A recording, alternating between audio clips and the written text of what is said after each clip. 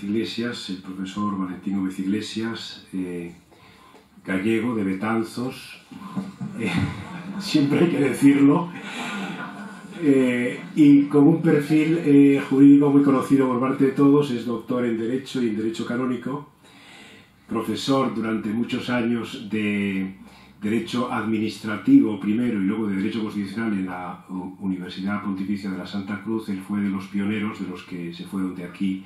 de Navarra, eh, después de haber defendido la tesis doctoral, para comenzar lo que en un primer momento se, se llamaba el Centro Académico Romano ¿no? de la Santa Cruz, que al final erigido como universidad. Y actualmente, desde hace pocos años, pues es, eh, ha regresado a su alma mater, ¿verdad? Eh, en nuestra facultad es profesor de Derecho Constitucional Canónico. Nos hemos vuelto a beneficiar con su presencia y con su sabiduría. Y entre sus numerosas publicaciones eh, destaca sobre todo el conocido volumen eh, con el profesor eh, Illanes aquí presente y el recordado don Amadeo Fuenmayor sobre el itinerario jurídico del Opus Dei. Cito esta obra porque seguro que la preparación de esta obra fue ocasión de no pocas consultas y entrevistas con don Álvaro, según me parece.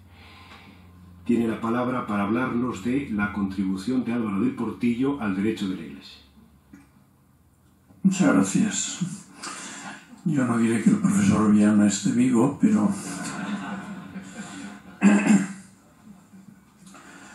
bueno, en primer lugar agradezco,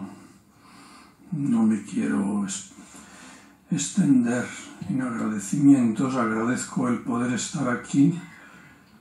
y he pensado cuál era el motivo y el motivo es probablemente que dentro de tantos que podrían hablar con más autoridad que yo, pues me tocó la suerte, la providencia de Dios de trabajar muy cerca y de sentir siempre su cariño y su confianza. Esa mirada que ahora nos está contemplando a todos y que me siento mirado, que está ahí a la derecha, a mi derecha. Bueno, empiezo ya y pido disculpas. El texto es bastante largo, quizá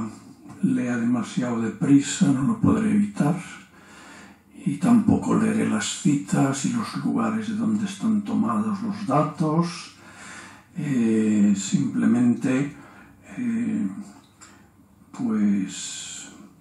remitir y si alguien después pues quiere preguntar algo en privado algún dato, alguna cosa, pues con mucho gusto. Tiene tres partes, no sé si llegaremos a todas.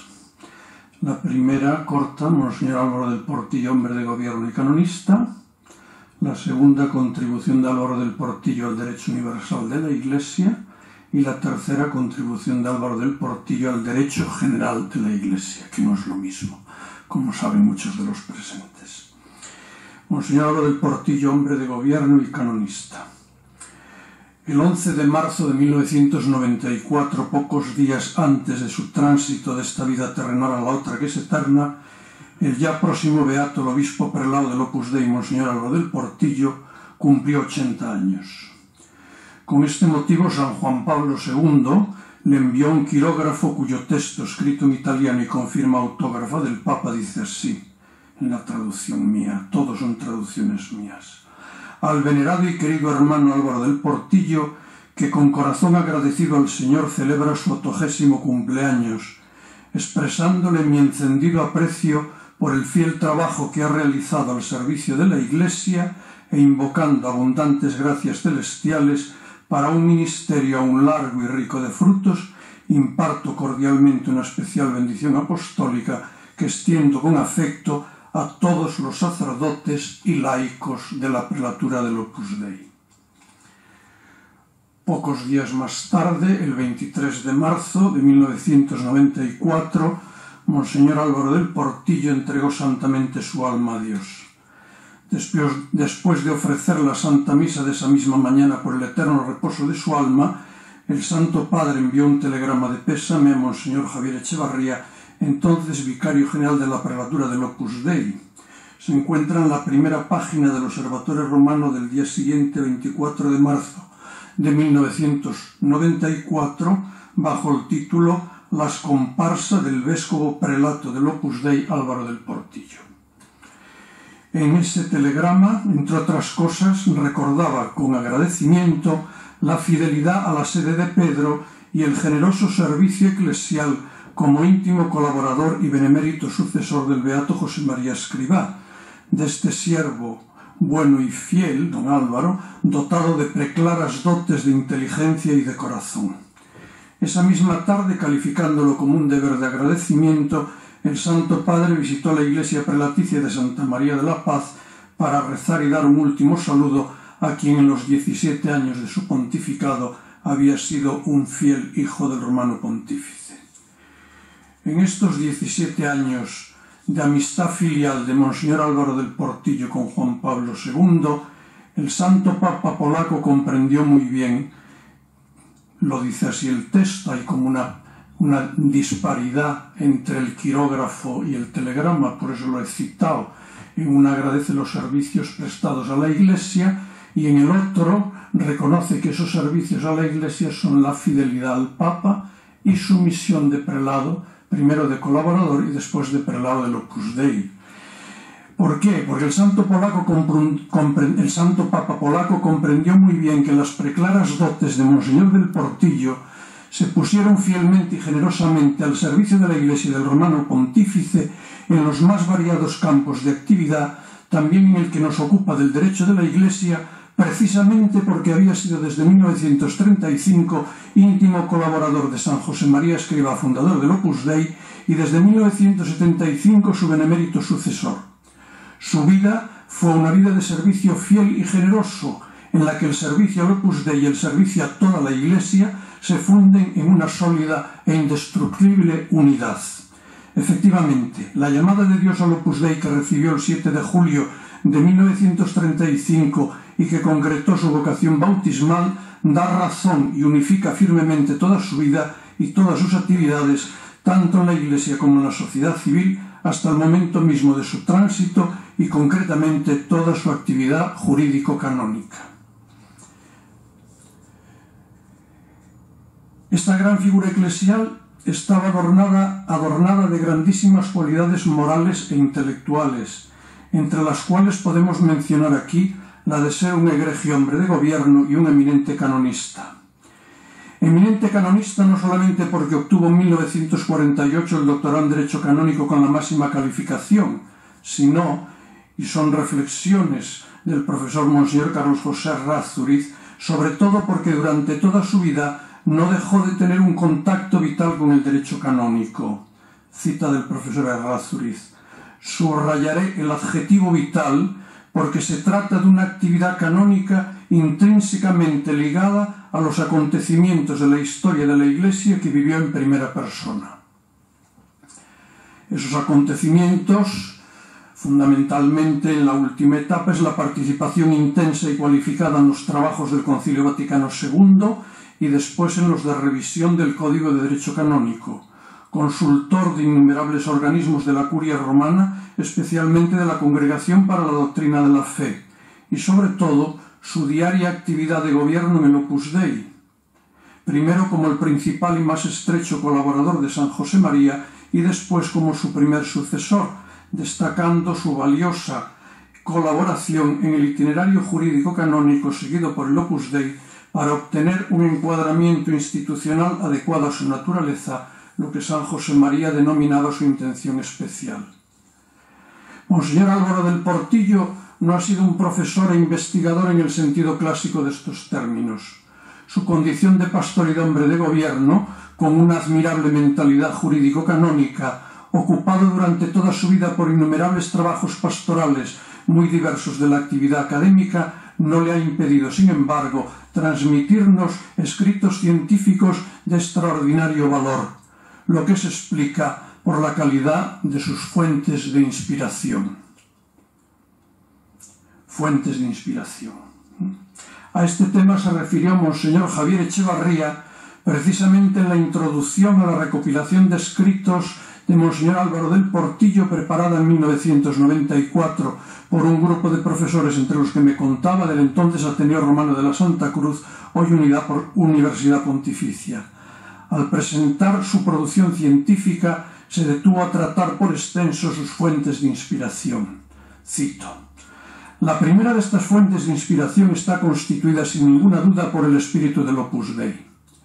Su respuesta espiritual en el Opus Dei día tras día le confirió un profundo sentido de la vocación cristiana laical, del valor de las realidades temporales, del sentido teologal de la existencia ordinaria, de la libertad en cuanto expresión de la dignidad del hombre y condición de la posibilidad de encuentro con Dios.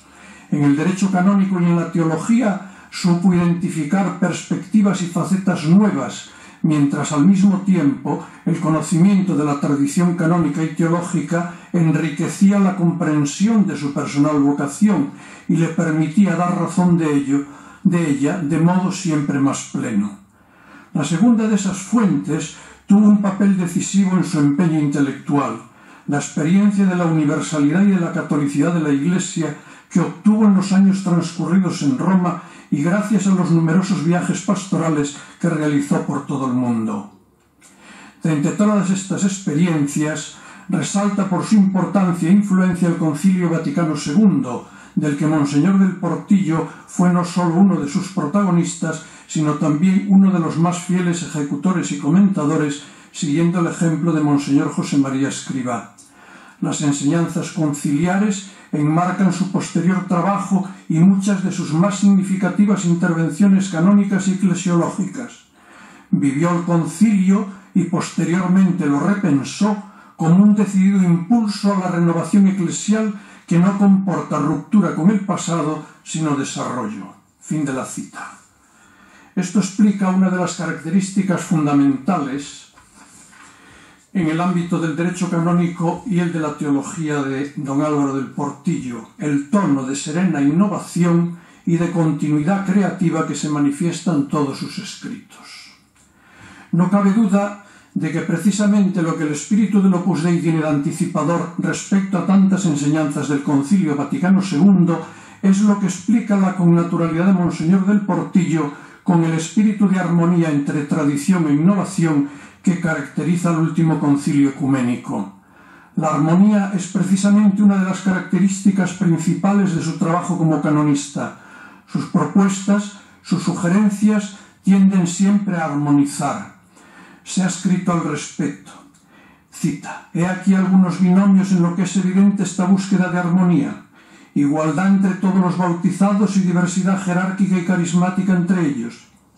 misión de los sacerdotes y misión de los laicos, libertad y autoridad en la Iglesia, continuidad con el patrimonio tradicional de la disciplina de la Iglesia y adecuación a las cambiantes circunstancias presentes, defensa de los derechos naturales del hombre y atención a los derechos de los fieles en la Iglesia, libertad de los fieles en el ámbito temporal y al mismo tiempo plena fidelidad a la Iglesia y a su doctrina en cualquier actividad también temporal,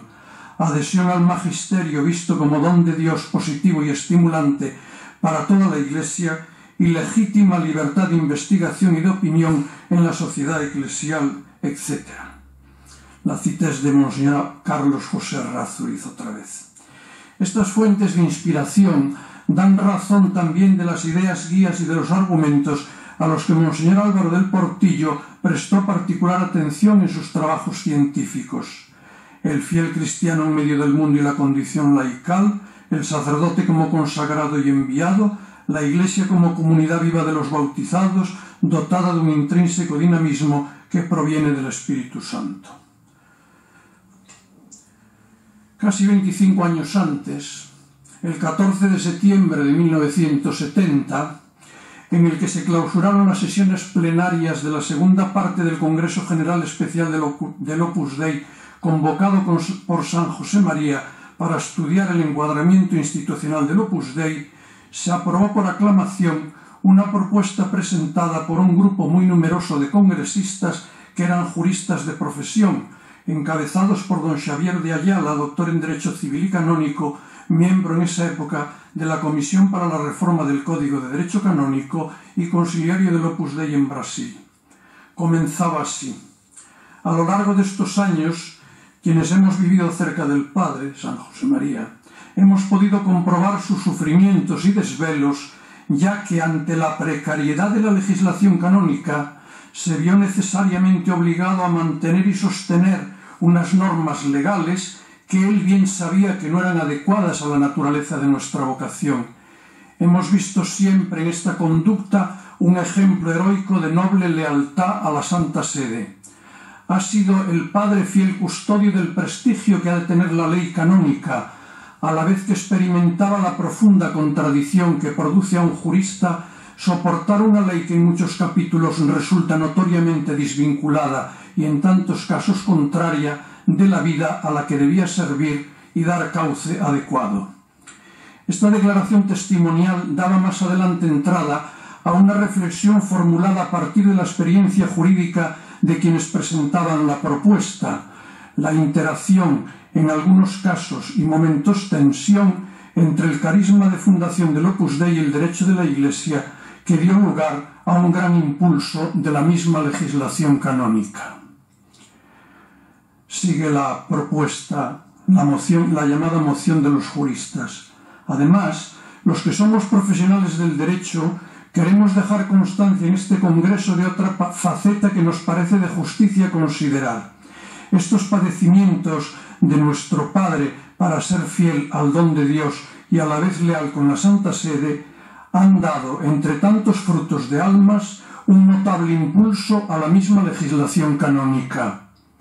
Muchas soluciones que se abren camino hoy son claramente consecuencia de esta larga batalla jurídica del padre para defender la peculiar fisonomía del Opus Dei, proponiendo soluciones a problemas que la ley canónica ni se planteaba. Baste pensar, por ejemplo, en los criterios acerca de los derechos de los fieles, de los derechos de los laicos, de las consecuencias jurídicas de la libertad de los católicos en el ámbito eclesial y en el temporal, de la libertad y derecho de asociación en la Iglesia, tanto de laicos como de sacerdotes, de las normas sobre bienes eclesiásticos, etcétera, etcétera. Y ya al final se ponía de manifiesto cómo la historia del camino jurídico del Opus Dei es la historia de la defensa del carisma fundacional y originario. Se podría decir que la historia jurídica de la obra es testimonio patente de esa prudencia legislativa del Padre y de su fortaleza para salvaguardar en las horas difíciles de la vida del Opus Dei la esencia de nuestro camino y la realidad laical y civil de nuestro modo de servir a la Iglesia. Debido a esta sensibilidad jurídica, las más gravosas consecuencias de normas legales inadecuadas para la obra venían neutralizadas y todo el conjunto de normas peculiares lograba salvar lo más importante. Queremos proponer que conste en las actas de este Congreso General Especial el agradecimiento a nuestro Padre por ese continuo testimonio de lealtad a la Santa Sede y a las leyes de la Iglesia, por esa fortaleza para defender la integridad del carisma fundacional de la obra y por el enriquecimiento y estímulo que ha supuesto para nosotros, juristas, su enseñanza y su sensibilidad y sabiduría como hombre de derecho.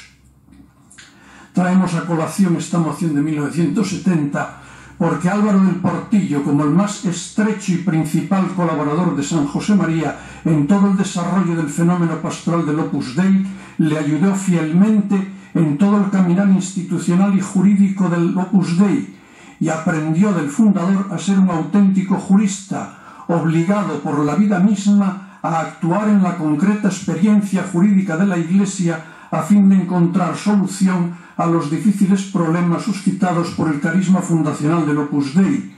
abriendo así camino a perspectivas y facetas jurídicas nuevas que en algunos casos implicaron cambios decisivos y epocales en el derecho canónico hasta poder hablar de un nuevo derecho de la Iglesia.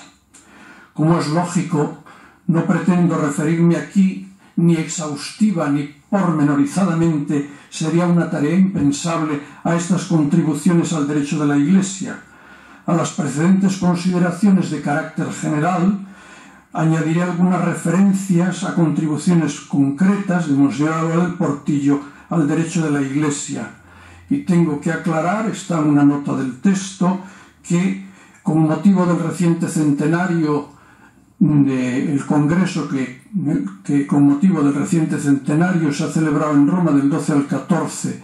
de este año, del mes de marzo de este año, eh, en el segundo día de ese Congreso se trató del amor y servicio a la Iglesia, que se tradujo, además de los servicios concretos a las iglesias particulares, en una contribución de notable entidad al Concilio Vaticano II y a la nueva codificación canónica.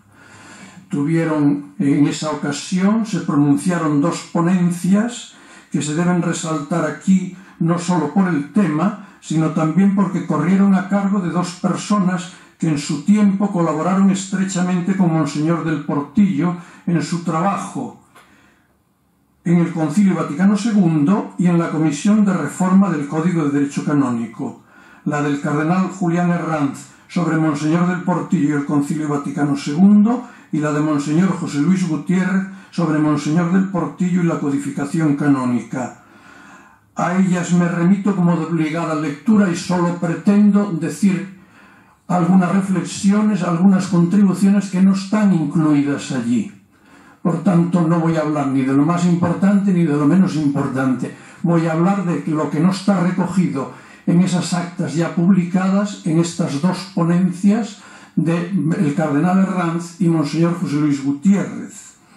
El volumen primero de las actas ha visto ya la luz y el segundo se encuentra ya en proceso de publicación, donde hay también muchas aportaciones que han servido para preparar esta ponencia y a las que también me remito, pero de modo más limitado, porque son más contextuales, entre otras una mía sobre la aportación de don Álvaro al itinerario jurídico del Opus Dei, que tampoco mencionaré aquí. Como es bien sabido, pasamos a las cosas concretas. El 11 de octubre de 1962 dio inicio el Concilio Vaticano II. Unos días antes, el 4 de octubre, don Álvaro del Portillo recibió el nombramiento por parte del Papa de perito conciliar. Un mes más tarde, el 4 de noviembre, fue adscrito a la Comisión Conciliar sobre Disciplina del Clero y del Pueblo Cristiano. Cuatro días más tarde, el 8 de noviembre, fue nombrado secretario de dicha comisión. Presidía esa comisión conciliar el cardenal Pietro Chiriachi, prefecto de la Sagrada Congregación del Concilio, y presidente de la Comisión Pontificia para la Interpretación Auténtica del Código de Derecho Canónico, que había contado ya con el trabajo de Álvaro del Portillo en la fase antepreparatoria del concilio, nombrando en el 10 de agosto de 1959 presidente de la Comisión Especial de Estudios sobre el Laicado, lo que se llama la antepreparatoria de laicos, en el seno de, su propia, de la congregación que presidía. El 8 de diciembre de 1962 Juan XXIII clausuraba solemnemente la primera etapa conciliar. Es precisamente en el periodo de interrupción de las sesiones conciliares propiamente dichas, que se inicia ese 8 de diciembre, cuando el romano pontífice, el 28 de marzo de 1963, en un ambiente de gran expectación conciliar, crea una comisión para la revisión del Código de Derecho Canónico. La comisión iba a ser presidida por el cardenal Pietro Chiriachi, prefecto de la Sagrada Congregación del Concilio y presidente de la Comisión Conciliar sobre la Disciplina del Clero y del Pueblo Cristiano. Contaba como secretario con Monseñor Giacomo Violardo, decano de la Facultad de Derecho Canónico de la Universidad Lateranense, y estaba compuesta por 30 cardenales. Monseñor José Luis Gutiérrez ha puesto de manifiesto agudamente y con realismo que en un ambiente todavía existente que consideraba el Código de Derecho Canónico de 1917 como una especie, dice, dice él, de castillo inexpugnable, a mediados de 1963 era idea común que la puesta al día del Código de 1917 se debía reducir a introducir en su texto modificaciones que dejasen intacta su sustancia. Monseñor Vincenzo Fayolo narra cómo Juan XXIII da la noticia de la constitución de esta comisión en la tarde del 28 de marzo a la comisión coordinadora de los trabajos del concilio, diciendo que la revisión del código será un gran acontecimiento y la materia que hay que ordenar es ya bastante abundante. Prosigue la narración Monseñor Fayolo diciendo que después del anuncio del Papa tomaron la palabra dos cardenales, el cardenal Lienart para agradecer la creación de la comisión y el cardenal Octaviani para informar a Juan XXIII de lo siguiente. Cito, Padre Santo, el Santo Oficio ha procedido ya a la puesta al día del código, cambiando ya algunos cánones. Además de esto, hay numerosas, es más, numerosísimas interpretaciones auténticas que habrá que introducir en su texto y consiguientemente esta comisión tendrá bastante trabajo. El 3 de junio fallece Juan XXIII. El nuevo romano pontífice Pablo VI confirma la prosecución del concilio que reemprende las sesiones el 29 de, de septiembre de 1963. El 12 de noviembre se reúne por vez primera la comisión revisora del Código, aumentada ahora por Pablo VI a 40 cardenales. No tenemos tiempo a hablar de esto, ¿verdad? Pero la, falta de decisión o de claridad sobre cuál sería el cometido de esta comisión, porque añade 10 cardenales casi todos orientales, dando la impresión de que lo que se estaba pensando era en una renovación de los dos códigos no sólo del, del derecho latino como al final fue en esta comisión. Entonces aumenta a 40 cardenales. Los cardenales miembros en esa reunión concuerdan con su presidente en que los trabajos formales de revisión han de esperar a que se concluya el concilio, aunque se pueden ir realizando trabajos preparatorios que faciliten la futura labor codificadora. El 17 de abril de 1964, en un periodo de interreño, si se puede hablar así, entre una sesión y otra del concilio, Pablo VI nombra 70 consultores que se añaden a los 40 cardenales y entre ellos se encuentra Álvaro del Portillo. El 23 de febrero de 1965, Pablo VI nombró secretario de la Comisión de Revisión del Código al padre Raimundo Vidagor, Societatis Jesu, en sustitución de Monseñor Giacomo Violardo, que había sido nombrado secretario de la Sagrada Congregación para la disciplina de los sacramentos. El día 6 de mayo de 1965, con la quiescencia del romano pontífice, tiene lugar una reunión privada o reservada de consultores presidida por el cardenal Pietro Chiriachi, que propone el estudio previo de tres cuestiones y la creación de tres comisiones provisionales de consultores para realizar dicho estudio. La primera comisión debe estudiar la primera cuestión previa de gran importancia y que condiciona todo el trabajo posterior.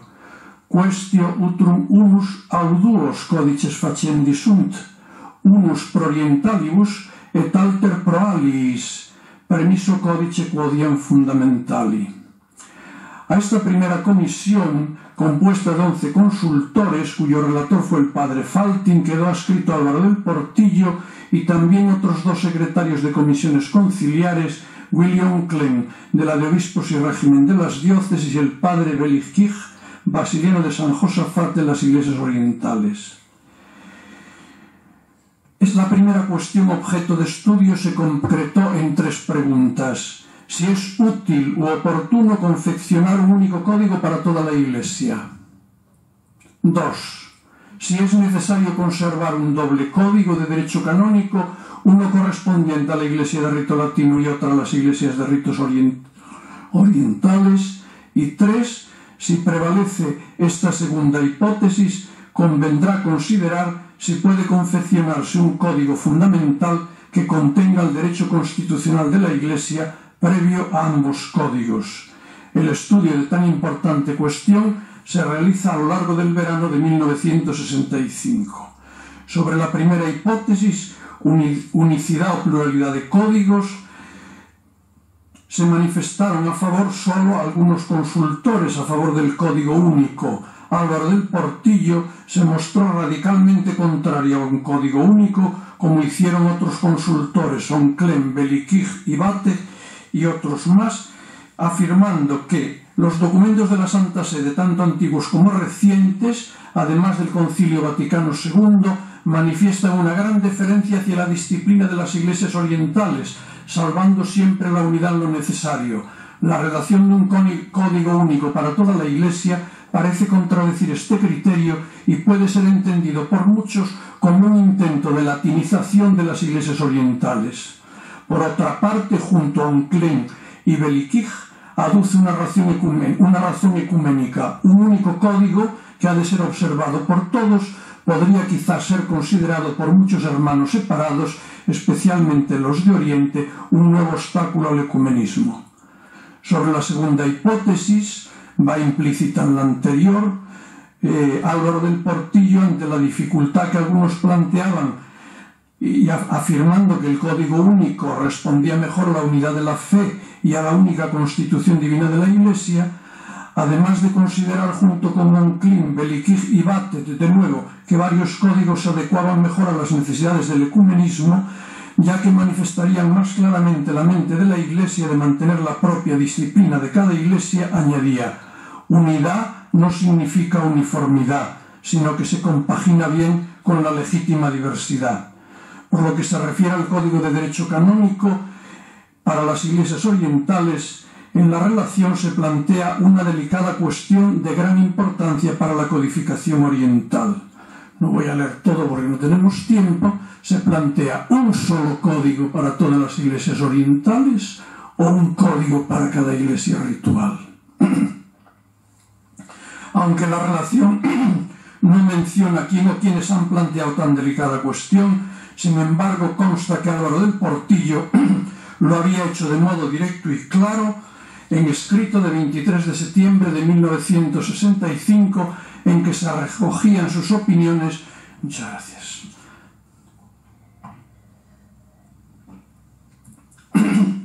sobre las diversas hipótesis sometidos a estudio de la primera comisión de consultores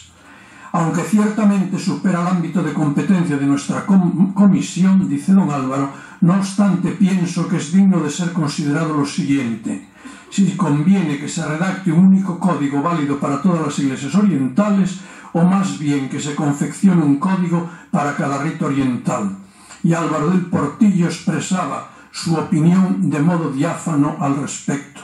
Me parece necesario que se tenga un código para cada rito oriental Inmediatamente después exponía las razones.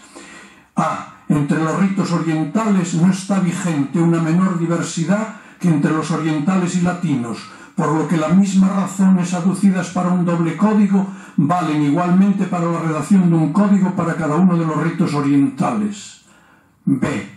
Urgen más todavía estas razones si consideramos el ecumenismo, es decir, los hermanos separados gozarían de la posibilidad, si quizás convenga, de tener su propio código, con lo que óptimamente se respetaría lo que, se establece en el decreto de ecumenismo relativo a la facultad de las iglesias orientales de regirse según sus propias disciplinas. Dichas razones debieron ser objeto de estudio y debate porque se da razón en las sucesivas publicaciones de la Comisión. Eh, la segunda hipótesis acerca de conservar dos códigos eh, introducía la tercera pregunta. ¿Hay que confeccionar un código fundamental que contenga el derecho constitucional previo a ambos códigos? Nueve consultores de los once que componían la primera comisión juzgan posible e incluso necesaria la elaboración de un código constitucional o fundamental para toda la Iglesia, aunque la redacción de este código conlleve no pequeñas dificultades. La relación consigna los argumentos que los nuevos consultores mencionados dan a favor de esta posibilidad y necesidad. Al hacerlo, la relación sigue casi textualmente la exposición de Álvaro del Portillo en su ya citado escrito de 23 de septiembre de 1965, por su gran importancia en la historia sucesiva de la, de la codificación la leo. Acerca de la tercera hipótesis. 1. Me parece muy oportuno que sea redactado un código fundamental a semejanza de una ley constitucional para la Iglesia Universal por estas razones. A. Mejor se refleja la unidad de la Iglesia si están reunidas todas aquellas cosas que son comunes y que son como el fundamento de la unidad dentro de la legítima diversidad. Además, conviene tener una norma escrita donde conste claramente tanto la estructura de la Iglesia como el conjunto de los derechos y deberes que obligan a los fieles cristianos cualquiera que sea su rito. B. Tal código favorecerá el ecumenismo, pues claramente en el mismo pueden determinarse aquellas cosas que pertenecen a la constitución de la única Iglesia de Cristo, a través del cual los hermanos separados podrán conocer bien cuál es el fundamento que debe ser aceptado por todos y aquellas cosas que por el contrario pueden ser dejadas a la libre determinación de las iglesias particulares bajo la autoridad del Supremo Legislador y por tanto el Código Fundamental contribuirá mucho a tener una mayor claridad en el diálogo ecuménico. Se narraban después las características que tendría que tener ese código eh, y se plantea una última cuestión que no dejó de plantearse en el aula conciliar y que se planteará después en el Sínodo de los Obispos de 1967. Dice, usted ha rechazado el código común para inmediatamente afirmarlo diciendo que se redacte un código constitucional. La comisión señala eh, dos diferencias principales, siguiendo en esto también a Álvaro del Portillo. El código común debería contener toda la disciplina de toda la Iglesia. El código constitucional debería contener solo el derecho divino y el humano de antigua tradición, de forma que se afirmaría la unidad y unicidad de la Iglesia y se mostraría el fundamento de la diversidad de las peculiares disciplinas que en el transcurso del tiempo se han introducido o se introducirán en la Iglesia. El código común excluye la necesidad de conservar un doble código, sin embargo el código fundamental admite la duplicidad de códigos, es decir, latino y oriental, códigos que contendrían leyes meramente eclesiásticas según, ya, según lo ya expuesto.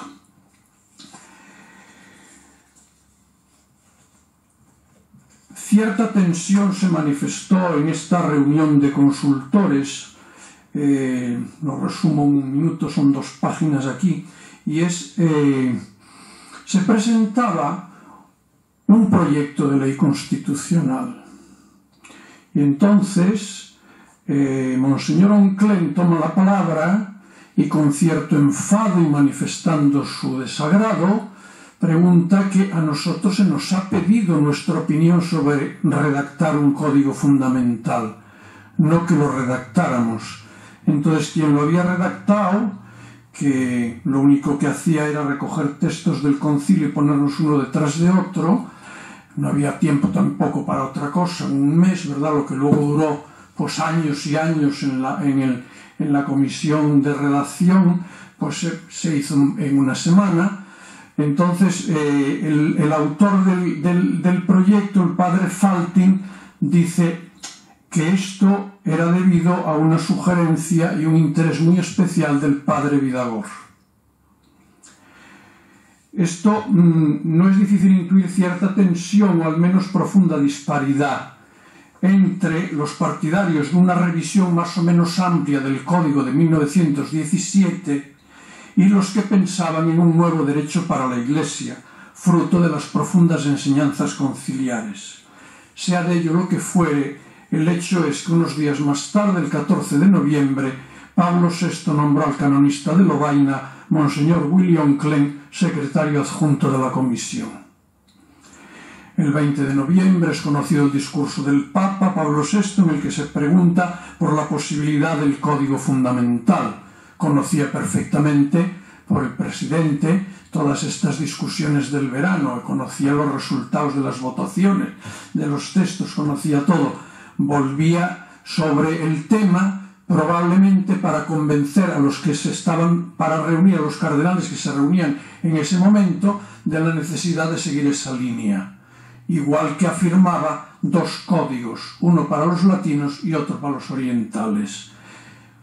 No la propuesta de don Álvaro, sino la propuesta de único código. Entonces, el 25 de noviembre del 65, pues los cardenales estudian estas cuestiones y dan, por lo que nos afecta a la, a la ley fundamental, 27 miembros de la Pontificia Comisión a favor, 6 en contra, 7 abstenidos y el presidente que no votó. El, los primeros pasos de la ley constitucional. Bueno, pues no me voy a referir aquí, evidentemente, a, porque ya se está pasando el tiempo, a la historia de la ley constitucional, del proyecto de ley constitucional, pero sí a las insistencias de Monseñor Álvaro del Portillo a lo largo de todas estas reuniones respecto a dos cuestiones, a que la Iglesia se presente como el pueblo de Dios y según con las con las enseñanzas magisteriales del concilio y a la necesidad de establecer el estatuto del fiel y los derechos y deberes fundamentales del fiel previo a la distinción de laicos religiosos y ministros sagrados que tendrían su propio estatuto. Eh, todo esto hace que, eh, por ejemplo, para hacerse una idea de cómo las cosas estaban todavía un poco en mantillas, ¿verdad? Pues el, en el primer proyecto que redacta Monseñor Onclen con la ayuda de Monseñor Gerard Phillips, redactor de, uno de los redactores principales del Lumen Gentium, todavía se habla de que el laico es un ayudante del obispo, jurídicamente hablando. Está ahí el texto y entonces todo esto eh, es expuesto por don Álvaro en ese voto famoso introducenda in jure canonico de laicorum nozione de quorum juribus et officis in ecclesia de 2 de octubre de 1966 que da lugar después a la publicación de Fieles y laicos en la Iglesia que ya es considerado un clásico de la doctrina canónica. Eh, acerca de los derechos de los fieles, dice en ese texto que no es un, que no es una cuestión política, sino una necesidad de la naturaleza misma de la ordenación jurídica y de la debilidad de las personas, tanto de los súbditos como de los que detentan la potestad. La protección de los derechos requiere una tutela legal, la garantía de su efectivo ejercicio requiere unos recursos administrativos, etc. Y esos medios técnicos, dice textualmente, consideramos que sólo si se aplican estos medios técnicos la nueva legislación participará verdaderamente del espíritu del concilio. La tesis sostenida por Monseñor del Portillo acerca del fiel y del laico fue innovadora en el ámbito de la ciencia canónica. Supo poner de relieve las consecuencias jurídicas del bautismo. Era la tradición jurídica de lo que siempre había escuchado a San José María Escriba de Balaguer el estudio de Álvaro del Portillo sobre los laicos tuvo mucha difusión entre los consultores y padres de la Pontificia Comisión de Reforma y las ideas allí expuestas se convirtieron en muy poco tiempo en doctrina común y criterio general de redacción del nuevo código. El Monseñor Gerard Phillips envía unas breves anotaciones al estudio enviado por Monseñor del Portillo y entre las, las observaciones dice placet que se instituya, traduzco sobre que se insista sobre la vocación universal a la santidad también para los laicos, que el legislador canónico presente la dignidad igual de todos los cristianos y los derechos y deberes de los laicos sean protegidos,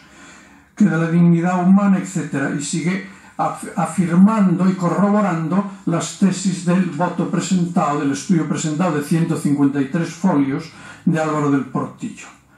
En su trabajo como consultor no fue indiferente la especial sintonía personal y amistad de Monseñor Álvaro del Portillo con el secretario adjunto de la Pontificia Comisión, el canonista de Lovaina William Klein.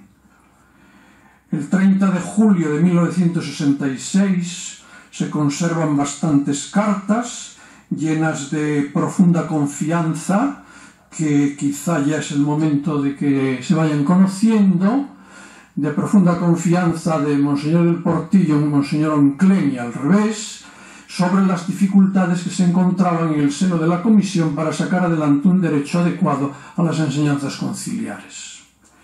Entonces, en la carta del 30 de julio de 1900 66, eh, don Álvaro del Portillo expresaba al canonista de Lobaina que eh, estas consideraciones que le enviaba podrían servirle quizá para la relación que estás haciendo del código fundamental. Tú que eres maestro mucho más experto que yo podrás juzgar. Me alegraría si alguna cosa pudiese serte de ayuda en este tu grande pero difícil cometido. No conozco si como consecuencia de esta carta y su referencia al trabajo que le incumbía, o a conversaciones anteriores o posteriores, pero el hecho fue que Álvaro del Portillo se propuso ayudarle en su trabajo facilitándole un texto completo de proyecto de ley fundamental. Hay que pensar que don Álvaro tenía entre manos la redacción de, la, de los laicos de 153 folios, estamos en el, en el verano del 66, había presentado dos relaciones de 90 páginas cada una sobre la incardinación y los derechos y deberes de los sacerdotes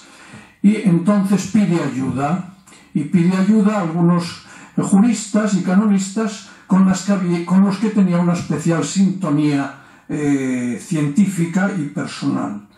Una ayuda particular, en cuanto particulares, al civilista Amadeo de Fuenmayor y a los canonistas Pedro Lombardía y Javier Hervada.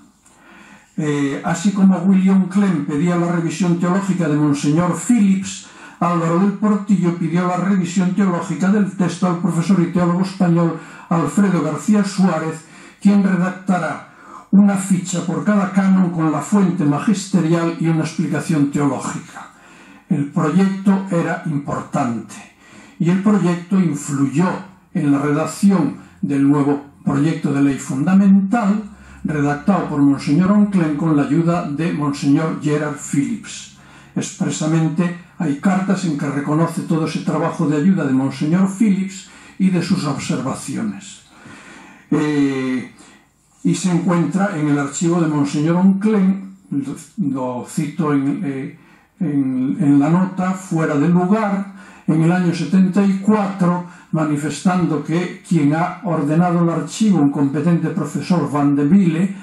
eh, pensaba por la redacción del texto que era de muchos años posterior, cuando en realidad era de 1966. El, el 18 de febrero escribe una carta Monseñor Onclen a, a, mm, a, Julián Herranz, entonces oficial de estudio, eh, oficial de, de, la Pontificia Comisión, por tanto le daba cuenta de su trabajo para que se enteraran en la comisión y le habla de ciertos momentos de tensión que prevé cuando presente el proyecto de ley fundamental. Eh, a esta tensión, con palabras claras y llenas de confianza, eh, don Álvaro se refería en una carta posterior de 17 de noviembre de 1966 en la que le decía a Monseñor Onclen Ahora próxima ya la reunión del grupo de estudio, querría decirte en calidad no solamente de amigo, sino también de relator, que deseo vivamente que seas tú quien presidas nuestras reuniones y no él. Esto no solo porque el trabajo que se deberá hacer es mucho, y con él esto no sería posible, sino también porque será un trabajo de preparar cánones es nihilo, en el actual código no hay nada, y de prepararlo según el espíritu del concilio, y él probablemente seguirá pensando que los laicos están en la Iglesia solamente para obedecer, pagar y no pecar. Después de estas palabras hacía la petición, por tanto, querido Willy, te ruego que vengas. Sé que también Sé que también los otros consultores, si supiesen, pedirían lo mismo. La carta es del 17 de noviembre. El 28 de noviembre está presidiendo la reunión en Roma Monseñor William Klein y consta en las actas de la reunión. Pues lo podemos dejar aquí porque se ha pasado el tiempo. Eh, lo que quería poner de relieve en estas páginas centrales de la cuestión es las dificultades que se encontraban en el seno de la Comisión para la redacción de un nuevo derecho canónico. La contribución de Álvaro del Portillo posteriormente pues se manifiesta en muchos otros textos, eh, es fundamental desde mi punto de vista, no porque, haya, porque se haya recogido después, que en el año 73 eh, le, entrega un proyecto de ley fundamental a Monseñor Unclen, que estaba intentando hacer uno nuevo después de todas las observaciones de los obispos del mundo, y le entrega un texto que ya es de una particular perfección técnica, solamente son 40 cánones, dividido en dos partes, los fieles y sus derechos y obligaciones, y la parte segunda, la estructura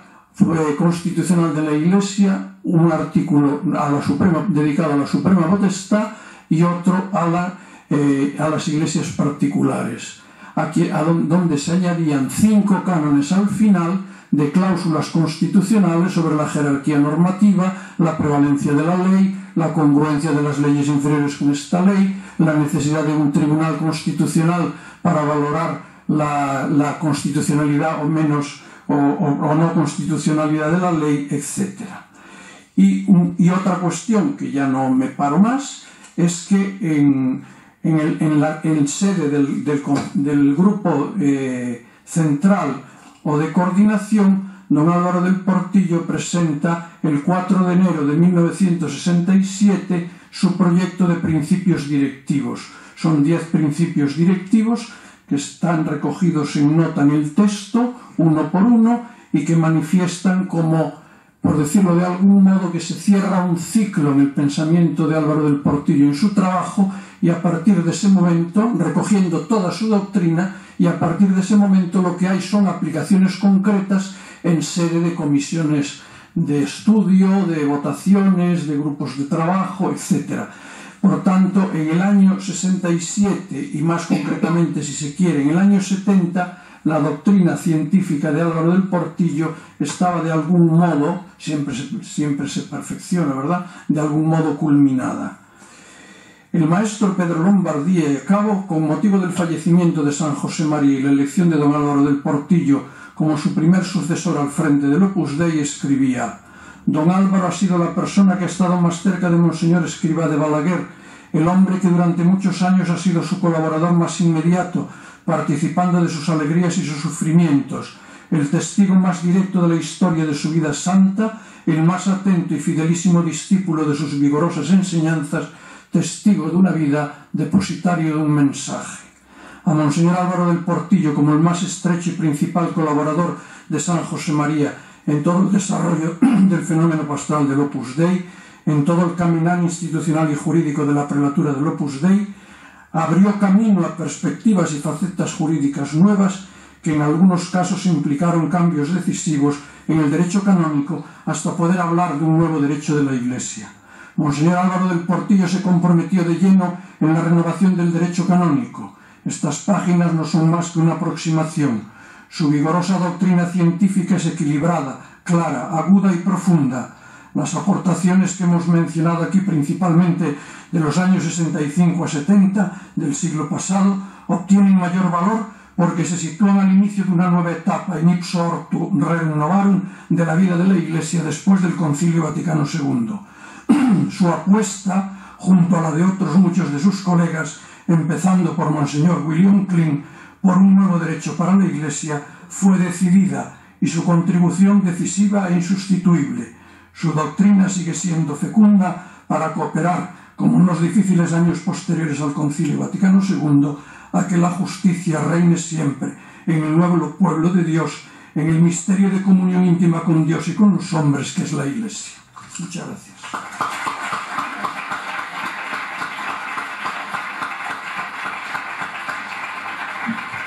Bien, muchas gracias a Monseñor Gómez Iglesias, gracias a los dos ponentes y hacemos ahora una pausa antes de la última conferencia de la mañana.